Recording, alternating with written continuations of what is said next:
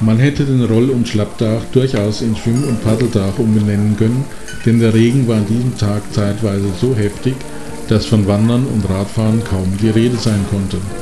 Das wirkte sich natürlich auch auf die Gäste aus, die lieber im Innern der Dahlberghalle saßen, als es sich außen ungemütlich zu machen.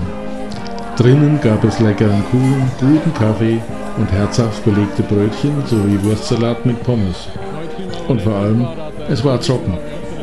Dennoch waren einige Unentwegte auch bei diesem Wetter unterwegs, sichtbar an den Rädern, die vor der Halle abgestellt waren und sichtbar an Landrätin Theresia Riedmeier nach dem Motto, das bisschen Wasser kann mich nicht erschüttern.